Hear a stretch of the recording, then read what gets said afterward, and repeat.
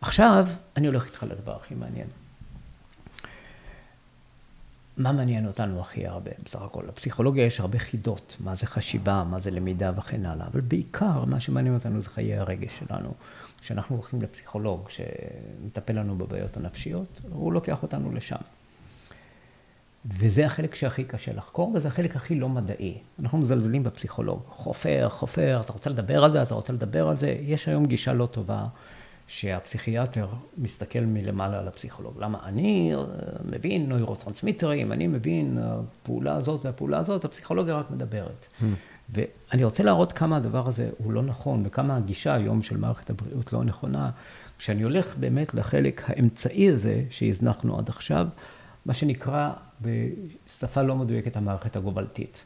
אותו חלק שאחראי על הדחפים והריגושים שלנו. שם בשנים האחרונות התגלו דברים מרתקים ששופכים אור חדש על חיי הנפש שלנו.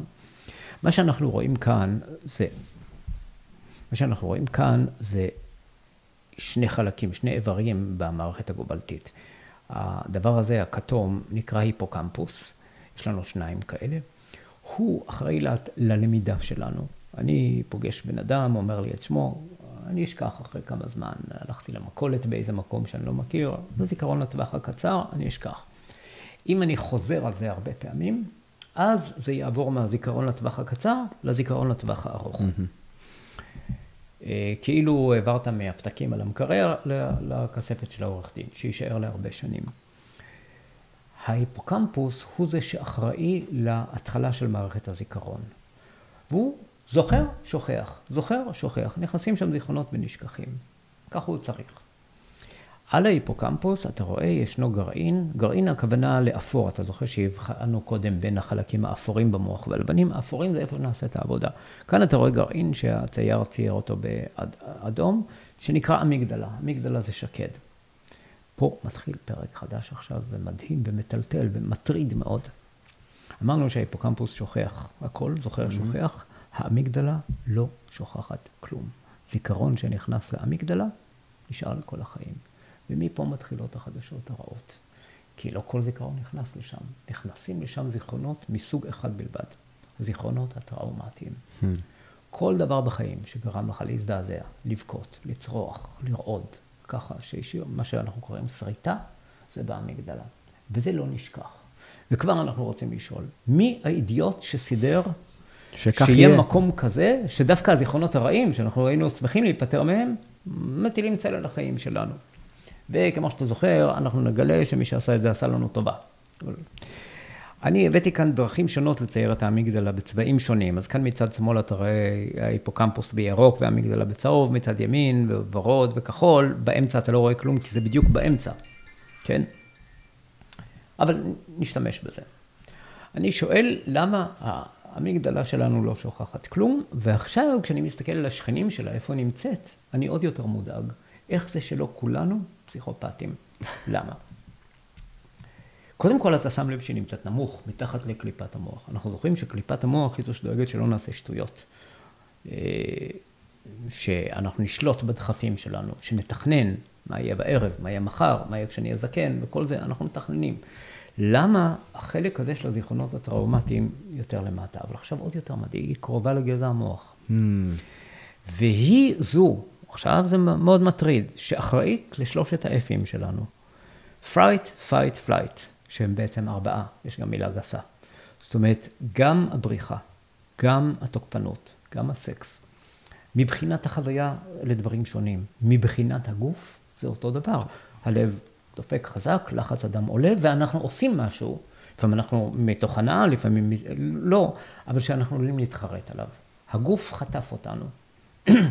עכשיו אני אומר, מעוז בלה, האמיגדלה הזאת, שדווקא היא זוכרת את הזיכרונות הטראומטיים, היא זו שאחראית לארבעת האפים האלה? אנחנו כולנו היינו צריכים לצאת עבריינים, להרביץ על כל דבר קטן, כי השריטות שלנו הם אלה שגורמים לתגובות המיידיות. רע מאוד, מי עשה את זה? אנחנו ממשיכים לחקור, ואנחנו רואים שזה עוד יותר גרוע. הרי קודם אמרתי אה, באופן פשטני שמהרשתיות שלנו הולכים אה, עצבים למרכז הראייה שהוא כאן. לא דייקתי, בואו עכשיו נדייק. באמצע של המסלול הזה יש mm. גוף שנקרא תלמוס. יש לו הרבה תפקידים. מבחינתנו, מה שמעניין, זה שגם שם יש איזה מרכז ראייה ראשוני כזה.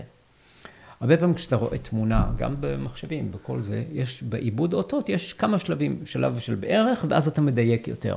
המשקפת מתמקדת, ואז אתה מדייק יותר. אז גם בראייה שלנו, ישנם שני שלבים כאלה. בהתחלה אני יודע, זה בן אדם או חתול. שבריר שנייה אחרי זה, אני אומר, זה גברת חובשי, זה חתול אנגורה, זה, זה ככה. האמיגדלה מקבלת מידע מהתלמוס. את המידע הלא אחראי, הגולמי. Mm. איך לא כולנו עבריינים? איך לא כולנו פסיכופטים? זאת השאלה. היא, היא קרובה מדי למרכזי הביצוע, רחוקה מהביקורת, מקבלת מידע לא אחראי. לא ברור הדבר הזה. הנה, זה מפת כל הכישורים שלהם יותר מסובכים. האיש הזה, אני הייתי נותן לו פרס נובל שלוש פעמים. לא, לא יודע למה, למה הם מתעכבים. קוראים לו, קוראים לו ג'וזף לדו. אחד, הייתי נותן לו כי הוא שאל שאלה מעניינת. אני, את הסטודנטים שלי, אני תמיד אומר, שאלת שאלה מעניינת, זה חצי דוקטורט. תשובה, תביא תשובה טובה, אבל תביא שאלה מעניינת. לפעמים שאלה מעניינת פותחת. אתה תשמע את השאלה שלו, תגיד, איך לא שאלנו את זה קודם? היה צריך להעלות אותנו לפני הרבה שנים על דרך. שניים, הוא מצא תשובה טובה לשאלה הזאת בניסוי נורא מסובך שאין לי מושג איך הוא עשה, הוא נורא קשה. שלוש, הוא שיער השערה, שהיא לא הוכחה עד היום, אבל כנראה שהיא נכונה. אז בוא נראה מה הוא שאל. לשם כך אני לוקח אותך לוויכוח מאוד גדול בפסיכיאטריה עד היום, בקשר להפרעות הנפשיות, מחלות הנפש. מאיפה הם באו? יש גישות כאלה, יש גישות אחרות. קח את הפוביה למשל. יש אנשים שפוחדים, יש להם קלאוסטרופוביה, אגורפוביה, יש פחד מעכבישים, היה פעם סרט כזה, כן. ארכנופוביה, כל מיני פוביות. אתה אומר מאיפה זה בא. יש בגדול בפסיכולוגיה שני הסברים. אחד ההסבר החופר של פרויד. בוא תגיד לי מה יהיה עם אמא שלך וככה כשהיית קטן וזה, והיו לך טראומות והכל, לאט לאט תשלם לי הרבה כסף, נפורר את זה והכל. יש את הגישה הביאביוריסטית האמריקאית, שאומרת, כולה זה למידה.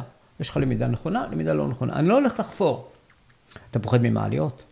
מסכים. בוא נעשה ככה. מה אתה אוהב? אתה אוהב, אה, עשית לי עכשיו חביתה טובה, או אתה אוהב איזה גלידה מסוימת, אתה אוהב איזה מוזיקה של הספייס גרס, או לא יודע מה אתה אוהב. אני אחזיק אותך במעלית כמה זמן עם הגלידה שאתה אוהב, עם זה, ולאט לאט אני אעשה לך התניה אחרת. יש, ב, אני חושב בסורוקה, מקום שמרפאים אנשים עם מחלת ניקיון. אומרים, תחזיק את היד כמה דקות בחול נקי. לא, לא, לא, לא רוצה.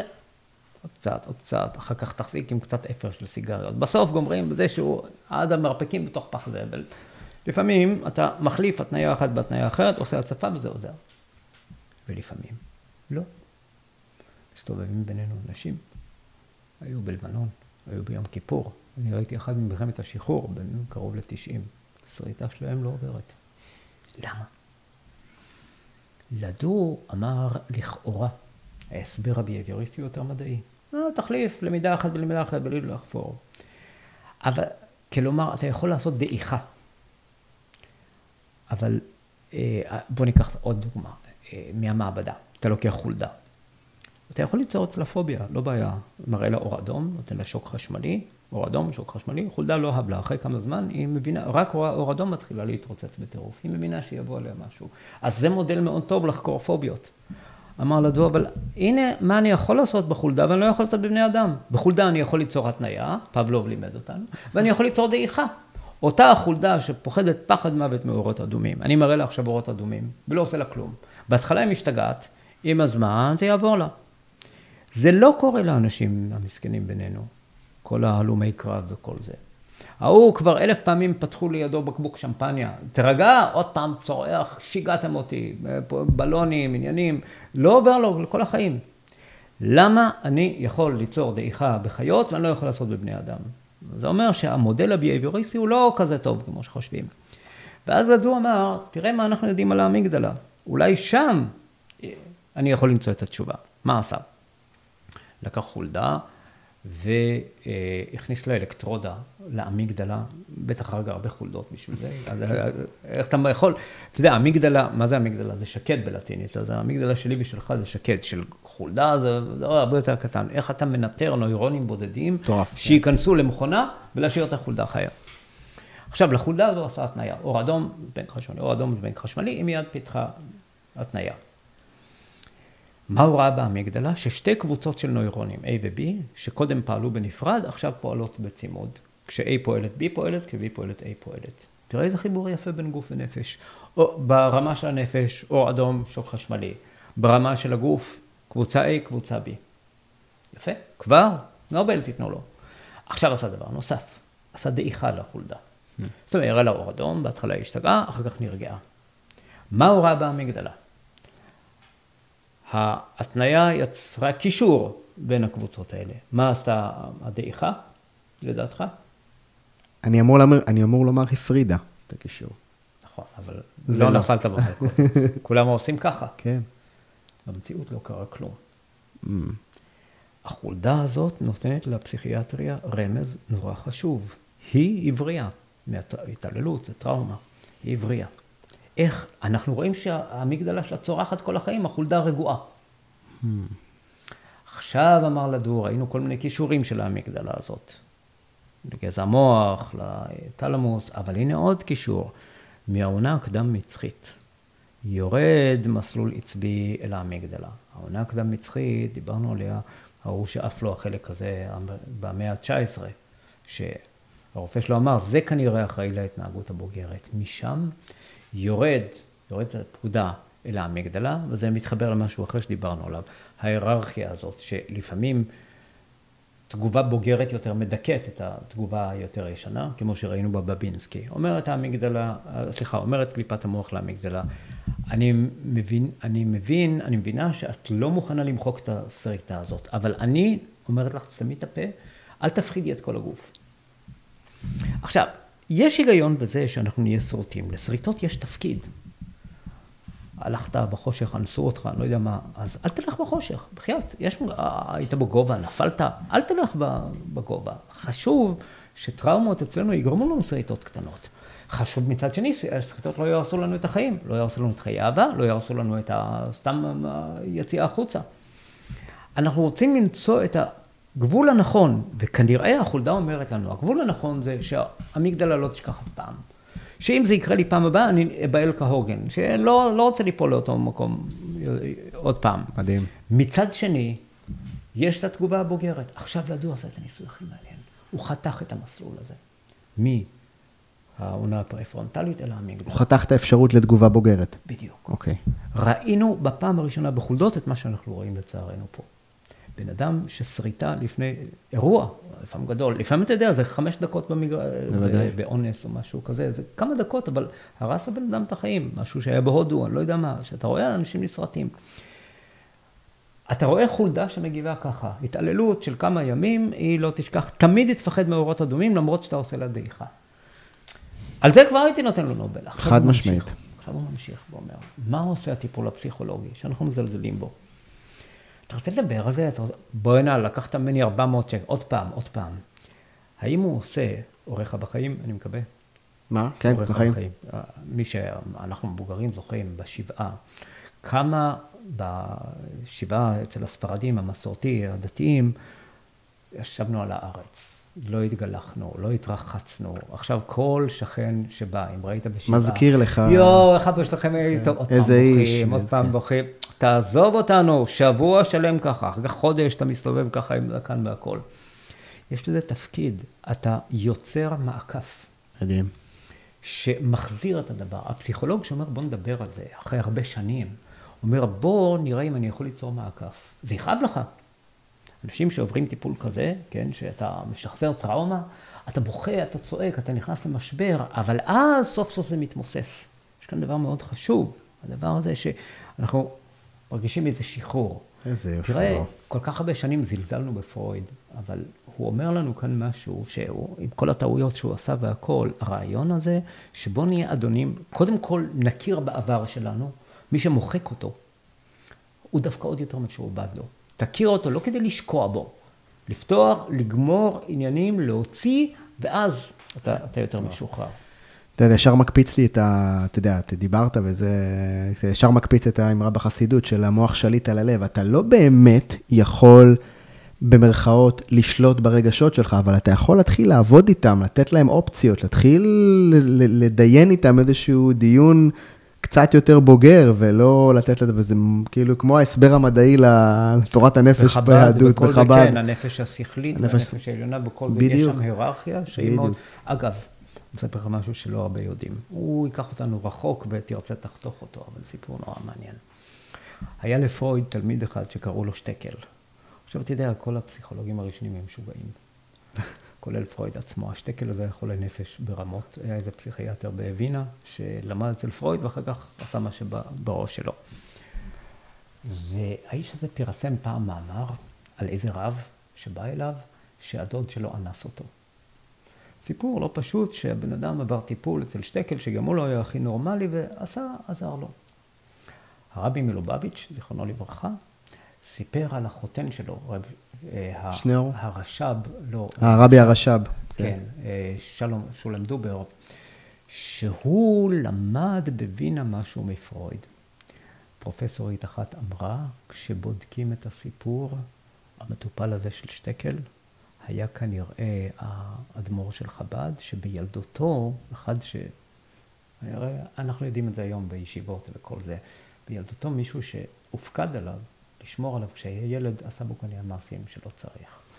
למה יש בין החסידות של חב"ד לבין הפסיכואנליזה, שהם שונאים אותה, אבל יש הרבה יסודות של חשיבה פסיכואנליזית בחב"ד, לך תדע, אני לא יכול להוכיח את זה, אבל לך תדע, זה מה שהתברר בטענה של החוקרת הזאת, לך תדע אם המפגש הזה של האדמו"ר מלובביץ' הקודם, שעבר בבינה, הבין משהו לא בסדר אצלו, נלך גם לאיזה יהודי מתבולל כזה, ונשמע את חוכמת הנפש והכניס את זה לחסידות, זה סיפור.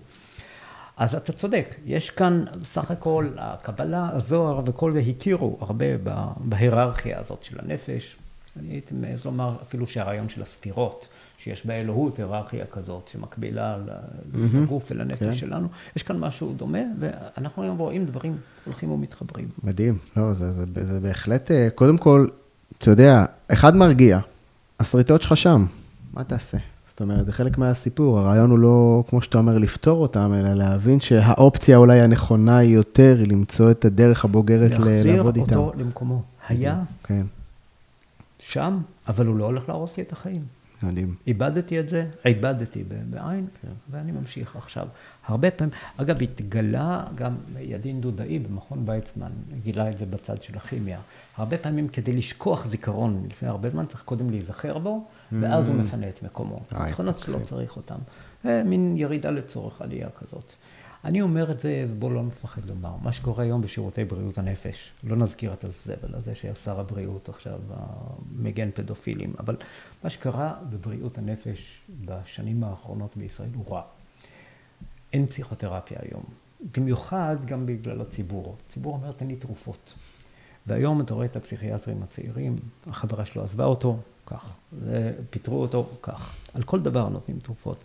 יש היום הכרה שהקטע הזה של התרופות מיצה את עצמו, והוא לא תמיד עושה דברים טובים. בקטע של אה, הטיפול בדיכאון, אם חשבו שזה לבד יעשה את העבודה, הוא יכול להוציא אותך ממצבים אקוטיים.